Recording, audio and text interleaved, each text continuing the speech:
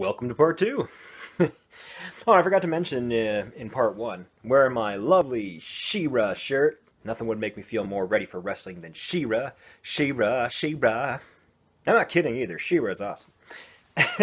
anyway, we move on to the Raw Tag Team Championship. We have Jason Jordan and Seth Rollins, yes, really, defending the tag titles against Sheamus and Cesaro, who all, everyone there except for Jason Jordan had already been in the Rumble match. So the way this match works is Jason Jordan comes out and he takes a throw into the stairs and he's selling a concussion, which is really in poor taste considering what we know about concussions nowadays. You know, I'm just gonna move you over a bit there. There we are.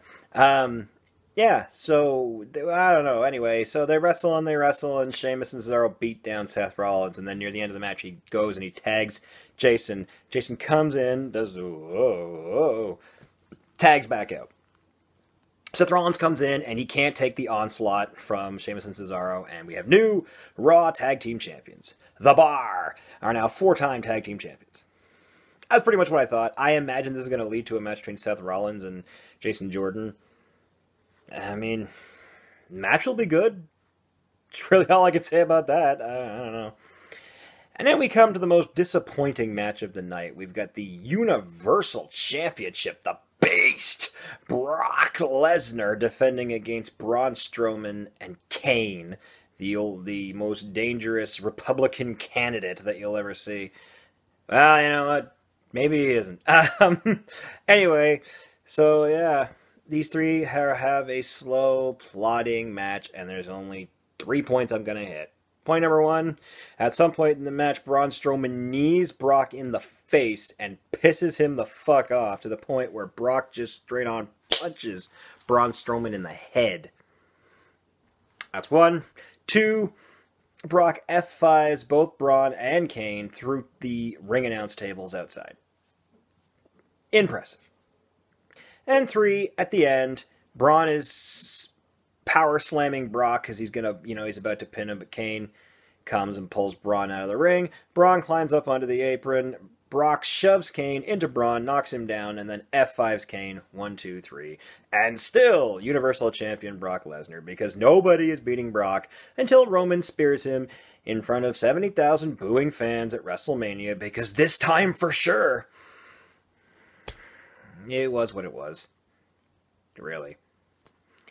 Anyway, after that, we have the history. History. Did I mention we're making history? This is historic. It's important. It's history. First ever women's Royal Rumble. They, they mentioned it a couple times. Oh, and we have Stephanie McMahon out there doing commentary. And I actually thought that she was going to be, you know, the, the screeching, like, you know, ah, with her off putting. They make her, like, her, they make her talk in a way that makes her sound much more grating than I imagine she actually is. Uh, but they didn't. Instead, she just sounded like you know what she sounded like. If, if you've ever played any of those like 2K18 or 2K16 or, or, any of those wrestling games, she sounds like one of when you're playing that and you're wrestling a match and you, it's just a bunch of like disjointed comments spliced together depending upon what wrestler you pick. Like every now and then, every now and then she'd be like, "You can't question the heart of Becky Lynch." Sasha Banks has almost been eliminated oh my! Like it, it literally just sounds like she's like all right like she's got a list and she's just like okay so uh, i guess i should be excited here. Oh my! And uh, here comes one of the legends. I remember this legend from x and x a year. Her and i did this and it's just it wasn't very good. It just wasn't.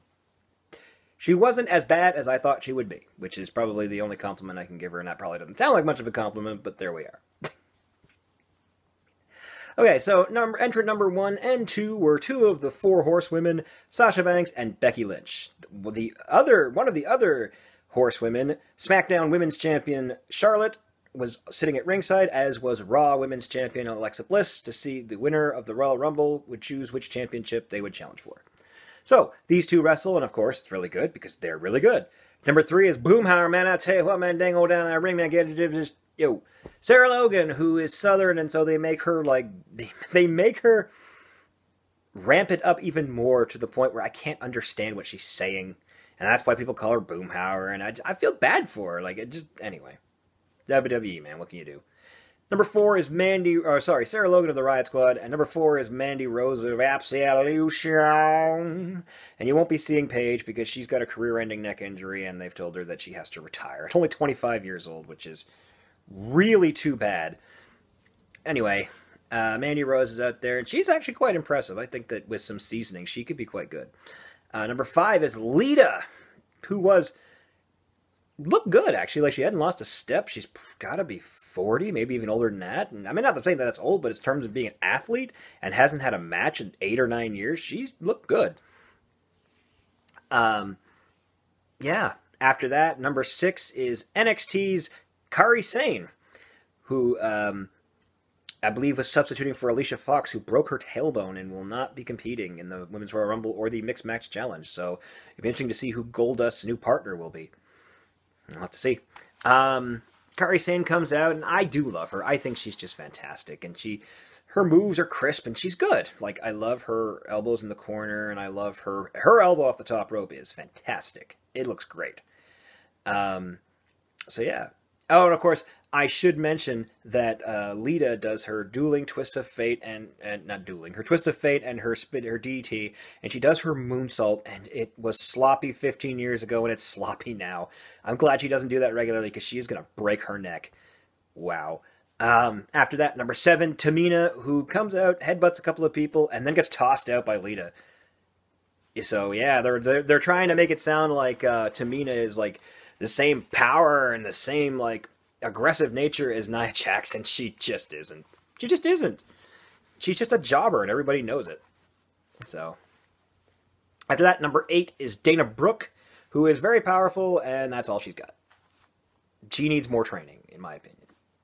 So, after that, number nine is Torrie Wilson, who was in WCW in 1999, and then in the WWF from 2001 to I think about 2005 or six, somewhere in there she was never much of a wrestler, and clearly being away from this for God's ten years, but she still looked good. Like she still looked to be in excellent shape, and she was trying. So I'll give her that. But she just she was never that great. So, but you know whatever. Uh, number ten was Sonya Deville. Put up your put your hair up and square up. She's out there and she's like punching people in the face and doing her thing. I like Sonya Deville. I think she's quite good. Number eleven is Liv Morgan uh, from the Riot Squad. So they're out there, and she's she's doing her thing, and she's okay. Like I said, she'll probably get better with time. Uh, number 12 is Molly Holly, who was an actual good 2000s wrestler. I always liked Molly Holly, and it was great to see her. And she looks like she, again, she probably hasn't had a match in 12 years or more, and it looks like she has not lost a step at all.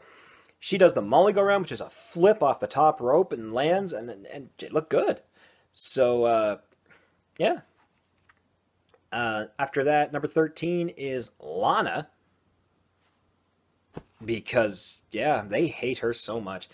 Because it's very apparent that she really doesn't know what she's doing. And look, I will always be happy with anyone who wants to get better. And I understand that it's a work in progress. But I do think that this she should have been in NXT to be given a chance to learn how to do this before shoving her out there in front of these audiences because they know who she is, where she's going to embarrass herself or hurt herself or hurt others because she doesn't she's not good yet. She's not she doesn't have enough training. But in this case she was fine. Like she slapped I can't remember who and then took down Liv Morgan, I'm pretty sure. And, you know, it looked good. Uh, after that, number 14 is Michelle McCool, who you might remember as one of the co Divas champions with Layla. Yeah, back in 2010, and again, she looked good. She probably hasn't had a match in eight, nine years, and she looked she looked good back. She got quite a few eliminations. She eliminated Sonya Deville and Liv Morgan and Molly Holly and Lana. So clearly, she can still do this. There you go. Uh, number 15 was the leader of the Riot Squad, Ruby Riott who is great. I love her heel energy. I think she'd be probably be better served as a babyface, but I mean she's doing what she can to get what she's got going over, so you know, no complaints. Number 16 is Screeching coming from Vickie Guerrero, who used to be the SmackDown general manager in 2007, 8, somewhere in there. So there was the wrestler named Eddie Guerrero, and he was one of the best of all time. And his wife was Vickie Guerrero, uh, who wasn't a wrestler, but he passed away very suddenly, and she wanted to find something to do to help pay for her her children's educations. Um, in fact, one of her daughters is now actually married to Aiden English. So there you are. Um, so she comes out and she screeches and screeches, and then everyone in the ring, Becky Lynch, Michelle McCool, Ruby Riott, and Sasha Banks, toss her out in like 50 because she's not a wrestler. She doesn't. She can't take bumps. So after that, number 17 is Carmella. She comes out with her Money in the Bank briefcase. She comes out there and she's doing her dance, and Vickie clubs her with her own Money in the Bank briefcase. That was kind of funny. I like that. Um, after that, number 18, Natty. Natalya comes out and she she's out there and she's doing her thing and she gets knocked down before she even gets to the ring, which was unfortunate. Uh, after that, number 19 is K squared Kelly Kelly, who I never liked, and she's the same. She's uh, okay, I guess. Number 20 is Naomi, who's more than okay. She's quite good, and she's her athleticism is unbelievable. The, the things she can do, uh, amazing.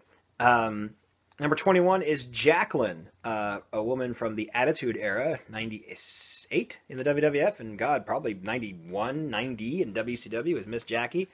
She's out there. Um, after that, uh, number 22 is Asuka, or sorry, no. Number 22 is Nia Jax, who is not like most girls and comes out and proceeds to just kill everybody in the ring. Like, just completely clears. A lot of women were laying around on the ground, like rolling through the bottom rope in order to like be out of the way for the spots and the things that were going on. And it probably wouldn't matter so much if it was only one or two women, but they were all like five or six of them, so it was hard to tell who had been eliminated and who hadn't.